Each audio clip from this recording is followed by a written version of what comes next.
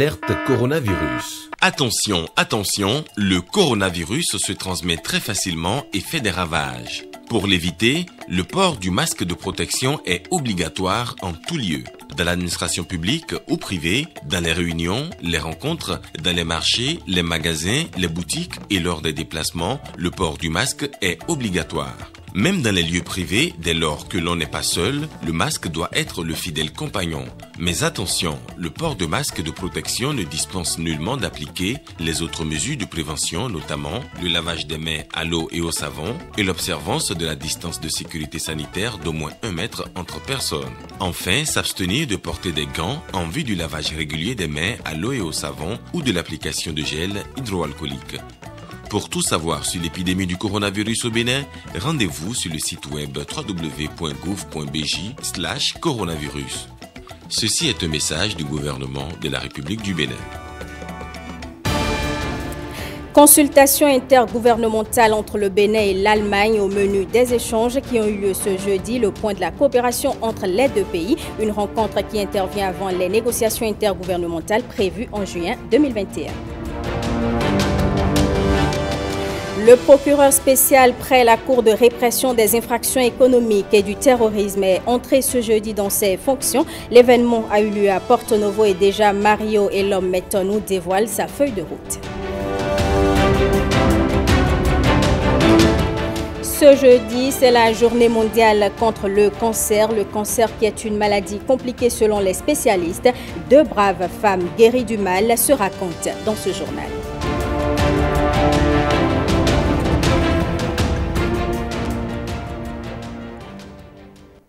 Mesdames et messieurs, bonsoir et bienvenue au journal. Depuis hier mercredi, vous le savez, l'artiste chanteur congolais Fali Poupa est au Bénin. Il donne samedi prochain un concert VIP au Novotel de Cotonou. Et ce soir, Fali Poupa est l'invité de ce 20h. Bonsoir Fali et bienvenue. Bonsoir, merci.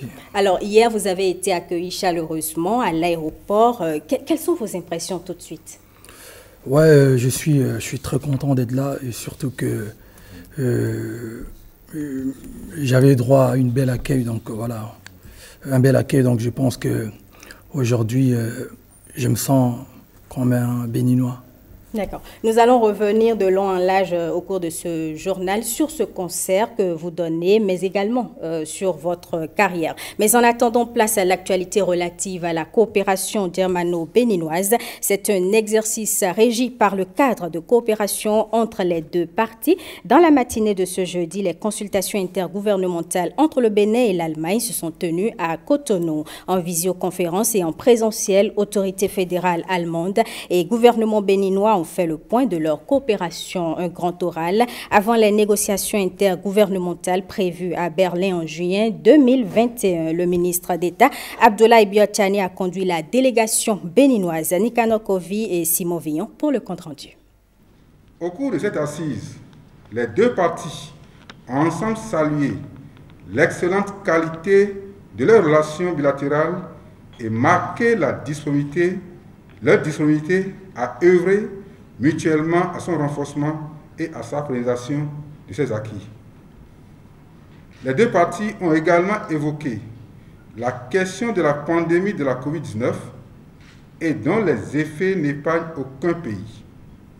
Dans ce cadre, la partie allemande a félicité le gouvernement béninois pour la stratégie de riposte nationale définie par le Bénin, depuis le début de la pandémie, et saluer sa pertinence qui permet globalement à notre pays de juguler les contre-coups de cette menace. La question de la démocratie et de l'état de droit a été également abordée au cours de cette rencontre qui a offert l'opportunité aux deux parties de réitérer dans le cadre de leur partenariat leur volonté d'œuvrer à la promotion de la démocratie, de la bonne gouvernance, de la défense de la préservation des libertés fondamentales. Les deux délégations ont aussi abordé la question sécuritaire, notamment la situation sécuritaire au nord du Bénin. Sur cette question, la partie béninoise, après avoir fait le point des dispositions prises par le gouvernement pour sécuriser l'ensemble du territoire national, a présenté le bloc de mesures spécifiques définies par le Bénin pour répondre à la menace terroriste dans sa partie septentrionale. Les deux parties ont saisi l'occasion de cette discussion pour réitérer leur, volonté de poursuivre leur partenariat dans les domaines gouvernance, eau, assainissement, biodiversité et énergie renouvelable. De plus, les deux parties ont retenu de compléter leur nouvel engagement dans la formation technique et professionnelle par un futur appui au développement du secteur privé ainsi qu'au système financier afin de renforcer les conditions d'employabilité au niveau du secteur privé et du système financier en vue d'améliorer les perspectives d'emploi des apprenants. Des actions seront entreprises dans ce domaine sur la base des expériences engrangées au titre de la coopération bilatérale dans les secteurs agricoles, des énergies renouvelables ainsi que du numérique en raison de leurs apports innovateurs et accélérateurs au développement. Vous venez plutôt de suivre les recommandations issues des consultations intergouvernementales entre le Bénin et l'Allemagne. Ce journal se poursuit. Mario Elom Metonou est désormais le procureur spécial près la Cour de répression des infractions économiques et du terrorisme. Il a été officiellement installé dans ses fonctions ce jeudi à Porto Novo en présence du directeur de cabinet du ministre de la Justice. Le point de Rebecca Kendiaoundé et François Issou. À 43 ans, Mario Metonou devient le deuxième magistrat à siéger en qualité de procureur spécial près la Criette, coup de répression des infractions économiques et du terrorisme. Ceci conformément à la décision issue du Conseil des ministres en date du mercredi 6 janvier 2021. Il prend les commandes de cette juridiction spéciale créée en 2018 et succède ainsi une deuxième fois à Gilbert Ulrich Togbono, qu'il avait déjà remplacé il y a trois ans au poste de procureur de la République près le tribunal de première instance de première classe de Cotonou. La cérémonie trouve donc son ancrage juridique au niveau de l'article 10 de la loi numéro 2001-37 du 27 août 2002 portant statut de la magistrature qui précise que les magistrats du siège et du parquet sont installés dans leurs fonctions en audience solennelle de la juridiction à laquelle ils sont nommés. Ils ne peuvent accomplir aucun acte de leur fonction avant d'avoir été régulièrement installés. Mais il me de souligner que malgré son caractère fort simple, la présente cérémonie, qui n'est pas un simple protocole, traduit en elle-même le vœu et la détermination du gouvernement d'amplifier les succès sur le terrain de la lutte contre l'impunité. L'impunité, un mot dont le sens résonne autrement depuis l'avènement de la criette et sa lutte contre la corruption notamment qui pendant longtemps a été considérée comme un serpent de mer mais aussi et surtout comme une citadelle imprenable au Bénin. Depuis sa création en 2018, plusieurs dossiers ont été instruits. Des coupables emprisonnés, des biens publics restaurés et des victimes dédommagées. Le nouveau visage de cette instance est donc invité à poursuivre la dynamique afin que cette cour garde ses lettres de noblesse. C'est à cette lutte implacable contre la corruption que vous êtes invité. Vous, en première ligne, les autres collègues et moi, pour vous accompagner. Vous n'avez pas droit à l'erreur. Nous n'avons pas droit à l'erreur. Nous comptons indéfiniment, infiniment sur vous. Nous comptons sur vous pour que le flambeau soit maintenu. Parce que vous avez déjà fait vos preuves à la tête du parquet de Cotonou. Et puis, importe-t-il de le dire que depuis 2018 à 2021, vous y étiez? Vous étiez également premier substitut du procureur au sein du même parquet. Et vous y avez pris vos marques, vos meilleures marques, j'allais dire. Précédemment procureur de la République près le tribunal de première instance de première classe de Cotonou, Mario Metonou est sorti de l'école nationale d'administration en 2001 comme inspecteur du travail et de la sécurité sociale. L'année d'après, il obtient une maîtrise en droit des affaires et carrière judiciaire de l'université d'Abomey-Calavi. Admis au concours des auditeurs de justice, il retourne cette fois-ci à l'École nationale d'administration et de magistrature pour en ressortir en 2009 par chemin en poche. Après son intégration le 14 septembre 2010 dans le corps de la magistrature béninoise par décret, il a été nommé la même année au tribunal de première instance de Cotonou en qualité de juge d'instruction du 7e cabinet d'instruction. Ses années d'expérience et ses compétences en matière judiciaire vont sans nul doute lui permettre de mener à bien cette mission assignée à la criette, à savoir traquer et punir les agissements délictueux dans les domaines de sa compétence. Et déjà, le nouveau procureur spécial dresse sa feuille de route pour atteindre les objectifs fixés. Je vous propose de suivre Mario Metonou au micro de Rebecca Kendiaoundé et de Françoise Issou. Cette feuille de route repose sur trois principes. D'abord, l'égalité de tous devant la juridiction. Déjà, la Cour apparaît comme la juridiction qui punit les coupables sans égard à leur statut social. Dans notre action au quotidien, nous travaillerons à maintenir le respect strict du principe de l'égalité de tous devant la loi. Nous contribuerons à davantage faire reculer les frontières de l'impunité nous ferons en sorte que tous nos concitoyens perçoivent encore plus la criette comme la juridiction qui, tel Thémis, un bandeau sur les yeux et le glaive à la main, frappe les auteurs des infractions, indépendamment de leur catégorie sociale, de leur fortune, de leur fonction dans la République. Ensuite, la transparence. La transparence est consubstantielle à la crédibilité de l'œuvre de justice. C'est pourquoi nous ambitionnons d'instaurer au parquet spécial une transparence complète dans la gestion des procédures et ceci dans le strict respect des contraintes légales. Ainsi, un bureau d'accueil sera mis en place pour permettre à, tous les justiciables d'avoir en temps réel les informations sur les suites réservées à leurs procédures. La collégialité dans le traitement des procédures sera maintenue au parquet. Nous fournirons à la presse les informations factuelles sur les procédures tout en respectant les droits de la défense et en application des règles du Code de procédure pénale. Nous rendrons compte, sans délai, au garde des Sceaux, ministre de la Justice, des différentes procédures comme nous l'impose la loi.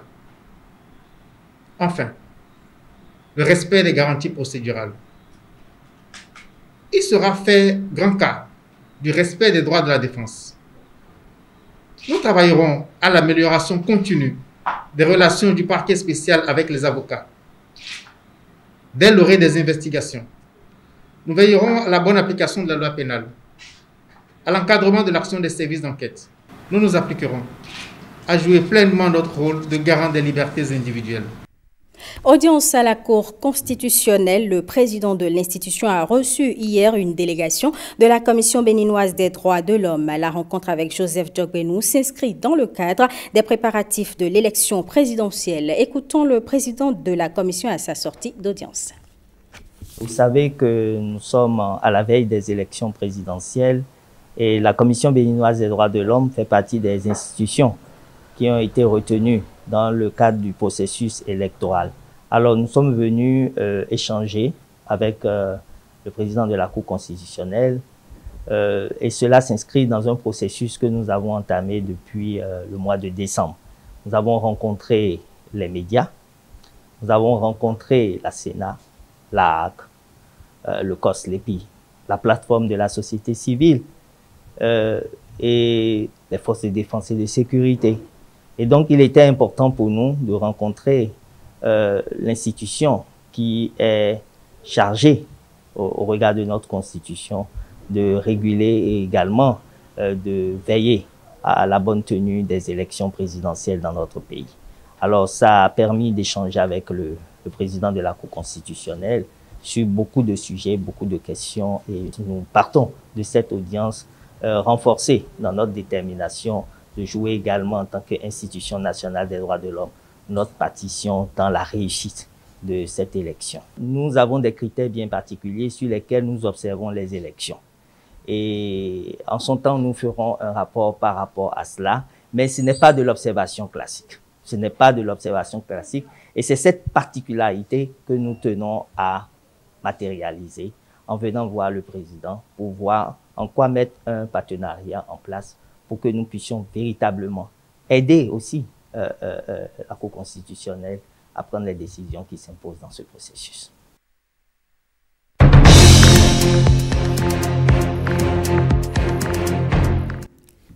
Quelle a été l'ambiance à la Sénat en ce dernier jour de dépôt des candidatures? L'ENEC Abgazaou nous fait un compte rendu provisoire en attendant la fermeture à la Commission électorale nationale autonome à minuit. Regardez. Quatrième et dernier jour du dépôt des candidatures pour la présidentielle d'avril 2011. Dans la soirée de ce jeudi 4 avril, c'est Aoulou Ed Oussou qui ouvre le bal pour le compte de la journée. Candidat indépendant, il observe scrupuleusement le protocole mis en place à la Commission électorale nationale autonome. Je suis en train de m'engager pour me battre pour vos enfants. Vos enfants, nos enfants. À sa suite, c'est Françoise Oussou Bayindo qui fait son entrée à la Sénat pour déposer son dossier. Secrétaire et communicatrice, elle dit être porteuse d'une nouvelle vision de développement du Bénin. Ma vision, c'est de contribuer à l'économie du pays après les deux candidats indépendants, c'est un duo de candidats avec à sa tête Daniel Eda qui se soumet à l'exercice. À 18h40 dans la liesse, une forte délégation de la mouvance avec à sa tête la colistière Talata Zimé du candidat Patrice Talon est accueillie à la Commission nationale électorale autonome. Quelques minutes après, c'est le tour des démocrates dont la délégation est conduite par la candidate Rekia Madougou.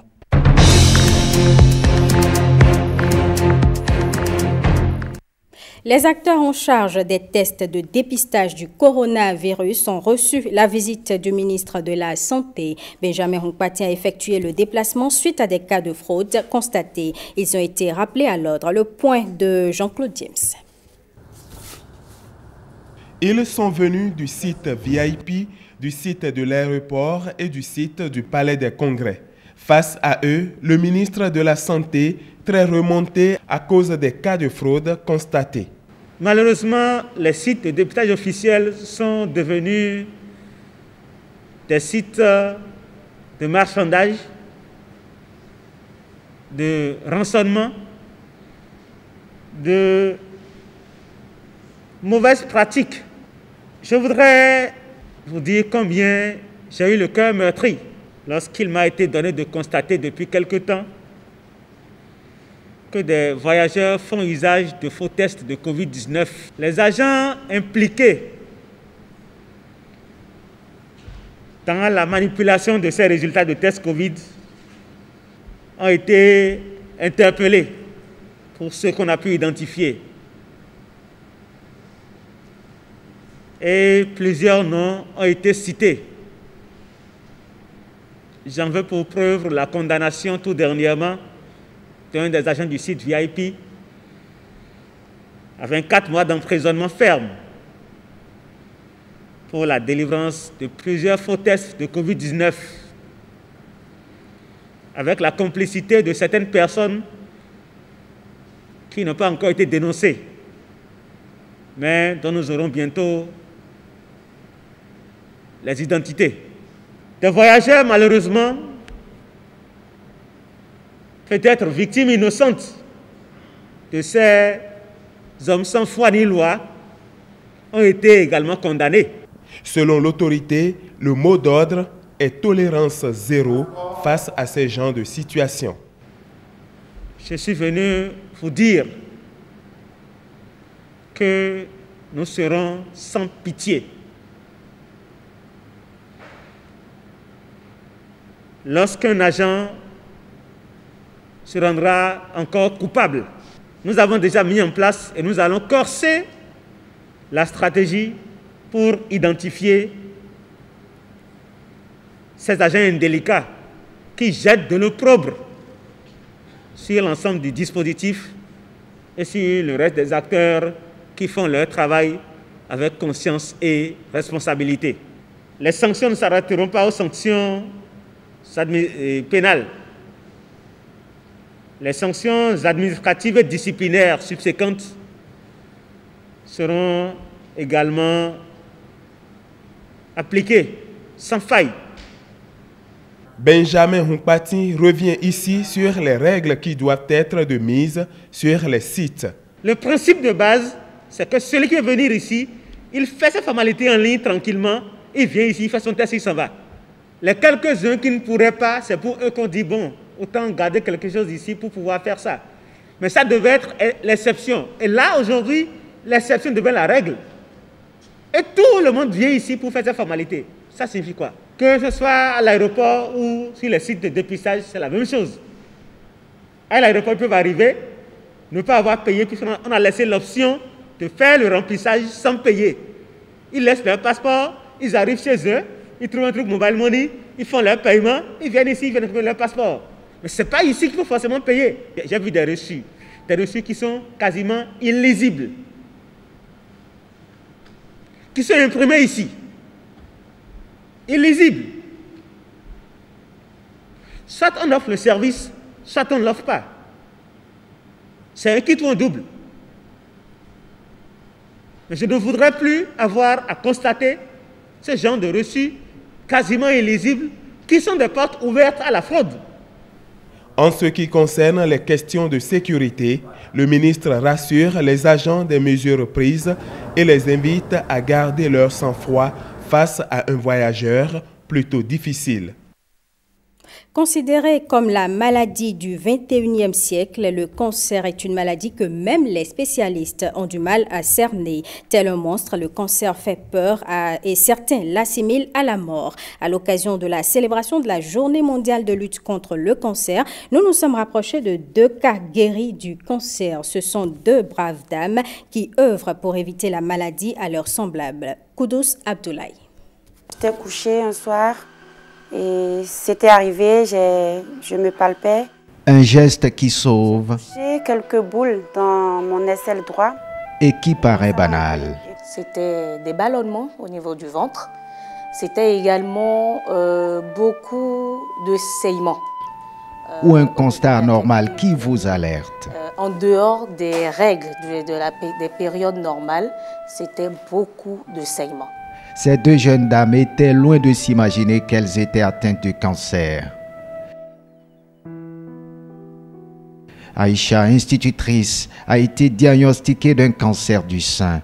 Suite à sa bonne attitude qui l'a conduit très vite à l'hôpital pour estirper ses boules anormalement logées dans son aisselle.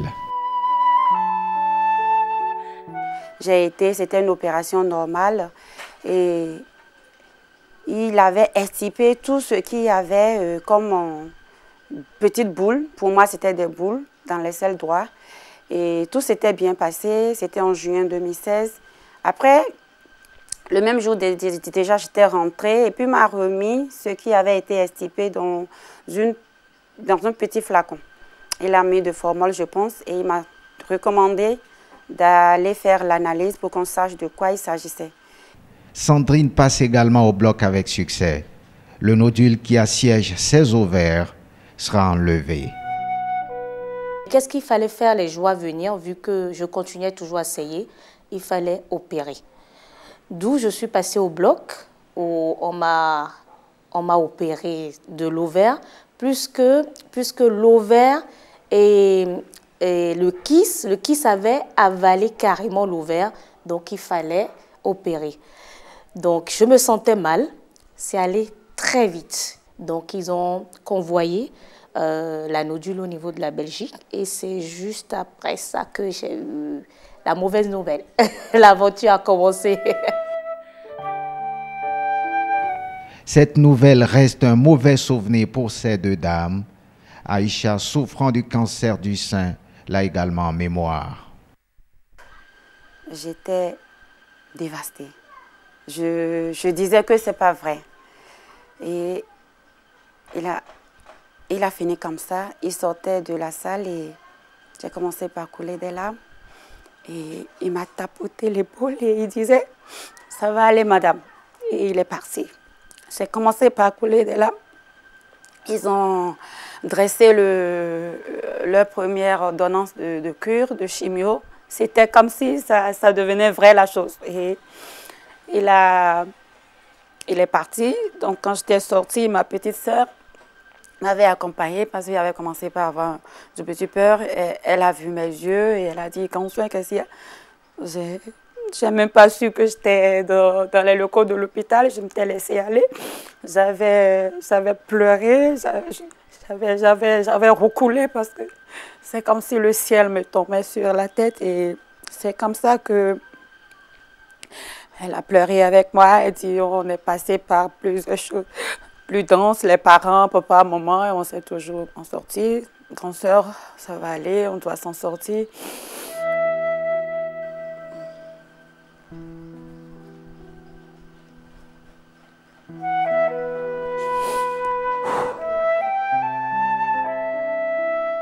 La carte noire est là et j'espère qu'on ne mettra pas le RIP sur mon nom ou sur les profils. Donc, il fallait se battre. Donc, voilà. Donc, du coup, euh, quand je vois, j'ai vécu également une belle-sœur très proche qu'il a eue. Et c'était un an avant. Donc, j'avais eu ça à chaud. Et du coup, qu'on puisse me diagnostiquer aussi facilement que j'avais le cancer. Et un cancer qui n'était pas fréquent. C'est pas comme le cancer du sein où tout au moins tu sais que tu as le plateau technique ici. C'est un cancer carrément des ovaires. Et c'était totalement... C'était un nouveau mot pour moi. Aïcha et Sandrine triomphent de ce rude combat contre le cancer, mais pas sans laisser des plumes. Guéries aujourd'hui, elles vaquent à leurs activités professionnelles tout en luttant pour éviter cette maladie mortelle à leurs semblables. Depuis près de cinq ans, elles mènent des actions de sensibilisation à travers leur ONG SOS Cancer, dont l'objectif est de soutenir les femmes atteintes du cancer et leur entourage. Face à cette maladie mortelle, difficile à cerner, que faire? Cherchons refuge auprès du médecin. La majeure partie des cancers peuvent être guéris lorsqu'ils sont dépistés très précocement et lorsque la prise en charge est optimale. Par contre, lorsque le diagnostic est tardif et que la prise en charge n'est pas adéquate, alors la mortalité est très élevée, hélas.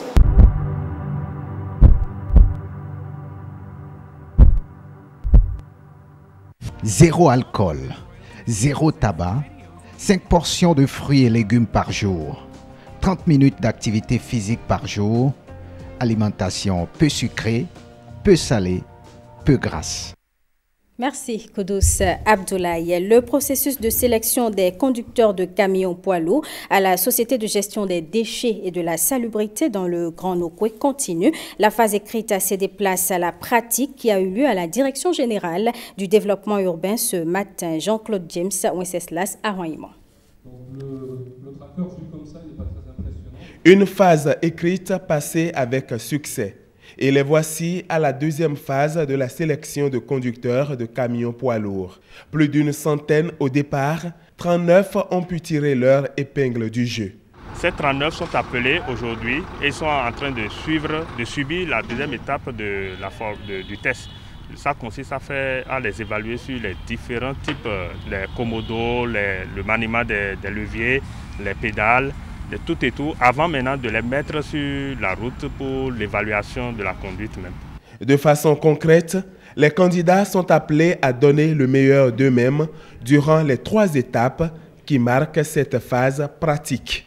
La première étape ici euh, consiste déjà à demander aux candidats de pouvoir présenter certains éléments qui se trouvent sur le véhicule, les éléments extérieurs, et ensuite à demander aux candidats de pouvoir montrer comment régler le siège de conducteur et la deuxième phase, ça c'est la manœuvrabilité. Euh, déplacer le camion, montrer comment faire la, euh, marche arrière et montrer comment ils peuvent gérer les, pédales d'embrayage, les pédales de frein et les pédales d'accélérateur. Et la dernière phase, ça sera maintenant la conduite proprement dite sur la route. Alors parce qu'ils doivent être capables de respecter les usagers, respecter le code de la route, respecter les signalisations horizontales et verticales sur la chaussée. Ce deuxième niveau de sélection permettra de retenir les meilleurs. 30 conducteurs sont attendus pour suivre la formation en bonne et due forme avant de se voir confier l'un de ces camions poids lourds. Je vous le disais en début de journal, depuis hier mercredi, l'artiste chanteur congolais Fali Poupa est au Bénin. Il donne samedi prochain un concert VIP au Novotel de Cotonou. Fali Poupa est l'invité de ce 20h. Alors Fali Poupa, comment on se sent à moins de 48 heures d'un concert à Cotonou?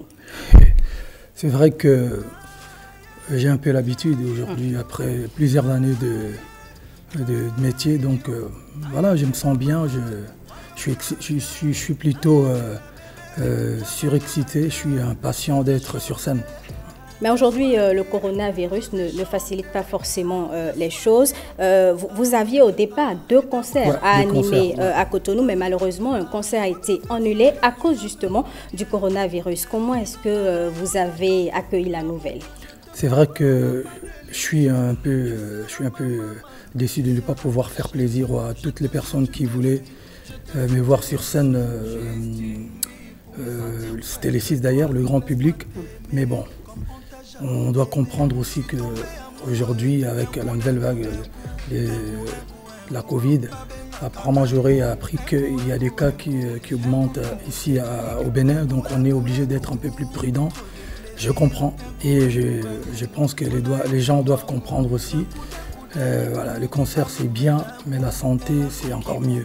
Donc on est obligé de... Voilà. De, toute façon, ce n'est qu'une partie remise. Mm. Euh, on reviendra, je pense qu'on reviendra avant, euh, avant la fin de... Peut-être dans quelques mois pour faire ce, grand concert public. Mais aujourd'hui, comment se porte euh, la carrière de Fali Poupa? Plutôt bien. Je viens de sortir mon sixième album studio et je suis en tournée. Je suis, au Bénin, à Cotonou. Je serai un concert samedi mm. à Cotonou et après le 13, les 10 et les 13, je suis au Cameroun. Donc voilà, mon album, mon album Tokos est sorti. Ça va. Dieu, Dieu fait grâce. La crise liée au coronavirus a impacté le secteur de, l'événementiel. Comment est-ce que vous, vous avez pu euh, surmonter cette période difficile? Comme tout le monde, comme tout le monde, j'ai été confiné à, Paris et voilà, c'est vrai que aujourd'hui, ça fait plus d'un an que les artistes ne, non, tout le monde d'ailleurs ne, ne fait pas vraiment, n'a pas vraiment euh, euh, la chance de faire son, boulot. Voilà, on essaye de relativiser, mais c'est très très compliqué. C'est très compliqué. Nous avons appris euh, que ce matin, vous avez échangé avec des artistes béninois. Alors, est-ce qu'on peut savoir ce qu'il y avait au menu des échanges? Est-ce que par exemple, on peut espérer des, collaborations avec des artistes euh, du Bénin? Oui, bien sûr, bien sûr. Vous savez, j'ai beaucoup d'amis euh, artistes béninois, euh, notamment Zénab, Dibidobo, mon jeune frère Fanico. Oh, mais aujourd'hui, j'ai eu la chance d'échanger, de, découvrir d'autres artistes béninois, mes collègues artistes. Donc on a beaucoup échangé, on a rigolé. Il y a eu quelques séances de questions, ils m'ont posé des questions, j'ai répondu, moi j'ai posé des questions. Et puis euh, euh, il y a eu quelques conseils en tant que, voilà, je suis quand même un ancien dans le métier, ça s'est plutôt très très bien passé. Donc voilà, je suis, je suis content de, les rencontrer. Comment est-ce que vous appréciez la musique béninoise? Ah, De façon générale. La musique, on a tous, on a pratiquement connu la musique béninoise par rapport à, grâce à la Tata Angélique Kidjo. Mm. Et ensuite, il y avait Africando, tout ça, et puis euh, les artistes talentueux qui, qui ne cessent de, d'émerger. Donc voilà, on aime bien, j'aime bien, j'aime bien. Dans votre euh, agenda, il est prévu euh, une visite euh, demain à Djara, au, Pépita. Pourrait-on avoir une idée de l'objet de ce déplacement? Ouais, C'est vrai que je les ai, je les ai découverts sur Internet et j'aime beaucoup. Vous savez, ils, sont, ils sont très talentueux et j'aime beaucoup. Avec leur percussion, là, ça me donne, ça me ramène à Bandal, dans, dans, dans, ma, dans, ma, dans mon, ma commune, dans mon enfance aussi, parce que moi j'aime beaucoup, euh, euh, j'ai joué beaucoup euh, bah, les gens disent aujourd'hui percussion, mais nous, on disait tam-tam à l'église. Donc voilà, ça me rappelle mon enfance. Donc je vais aller faire un tour de je vais aller le visiter, le voir en live. Ça sera avec un grand plaisir. Par, rapport au, concert VIP qui se tiendra le samedi prochain à 20h au Novotel avec euh, un public réduit et le respect des gestes barrières, qu'est-ce que vous promettez à vos fans? Je pense qu'on va essayer de faire avec les moyens de bord. Ça veut dire qu'il y aura la distanciation et puis euh, euh, ça va chanter quand même, ça va danser.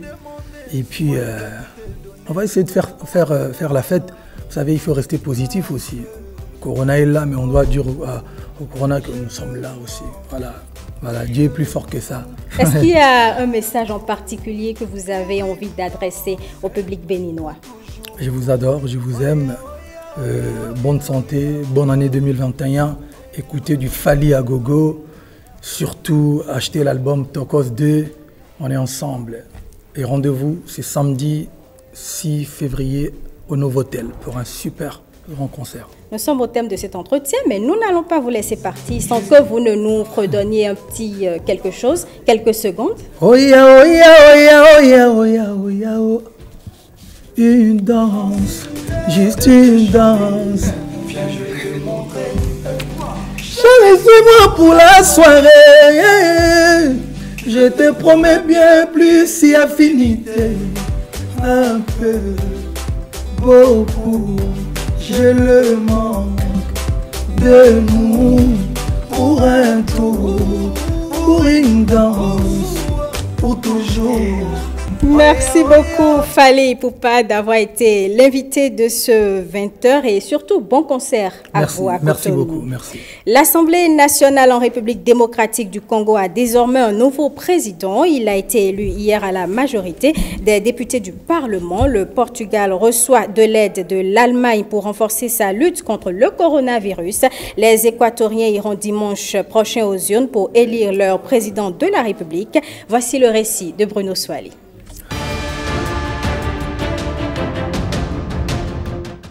Mbosso Nkodia Pwanga est élu président de l'Assemblée nationale en République démocratique du Congo. Le doyen d'âge du Parlement congolais a été porté au perchoir avec 389 voix sur 466 votants. Par cette élection, le président de la République démocratique du Congo, Félix Tshisekedi, commence à consolider son pouvoir sur l'ensemble des institutions. Mbosa Nkodia Pwanga, le nouveau président élu de l'Assemblée nationale, a rallié le parti du président au pouvoir en décembre dernier après avoir tourné dos à Joseph Kabila et au Front commun pour le Congo FCC. À l'issue du vote de ce mercredi, un bureau collégial pro-Tshisekedi composé de sept membres, dont deux femmes, a remplacé l'ancien bureau de l'Assemblée où l'Union sacrée de la nation, nouvelle plateforme politique voulue par Félix Tshisekedi, revendique désormais 391 sur 500 députés. Toutes les autres candidatures à différents postes non parrainées par cette Union sacrée de la nation avaient été invalidées. Jusqu'à début décembre, les partisans de Joseph Kabila revendiquaient une majorité de plus de 300 députés sur les 500 depuis les élections législatives du 30 décembre 2018.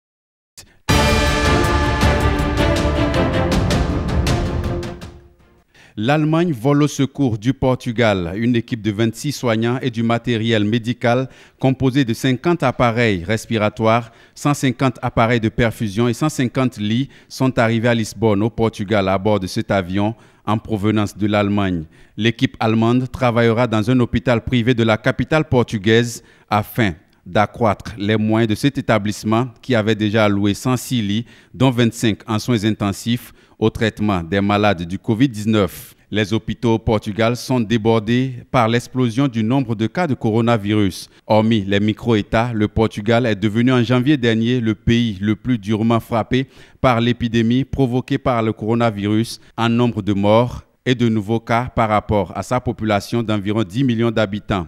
Avec 240 décès en 24 heures, le bilan total de la pandémie s'élève à 13 257 morts, dont près de la moitié depuis le début de l'année, selon les données communiquées mercredi par la Direction générale de la santé. Pour freiner l'emballement de l'épidémie après un allègement des restrictions sanitaires à Noël, le gouvernement portugais a imposé à la mi-janvier un deuxième confinement général.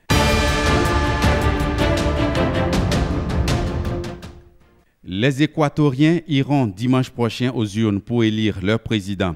Le candidat de la droite à l'élection présidentielle équatorienne, Guillermo Lasso, a tenu son dernier rassemblement dans la capitale Quito. L'Équateur vote dimanche pour une présidentielle à l'issue de laquelle le pays enregistrera un retour de la gauche avec Andrés Arauz ou un virage à droite avec Guillermo Lasso, favori d'un scrutin marqué par l'absence de l'ex-président Rafael Correa, condamné et écarté de tout mandat. L'élection présidentielle de dimanche se tiendra dans un contexte où le pays est confronté à un endettement externe chronique ainsi qu'à une crise financière aggravée par la pandémie du coronavirus et l'instabilité des coûts du pétrole, son principal produit d'exportation. Pour s'affranchir de sa dépendance au pétrole, l'Équateur s'est ouvert en 2019 à l'exploitation minière industrielle en espérant que le poids de ce secteur dans le PIB passe de 1,6% à 4% en 2021. Ce sera tout, mesdames et messieurs, pour ce journal et merci pour votre aimable attention.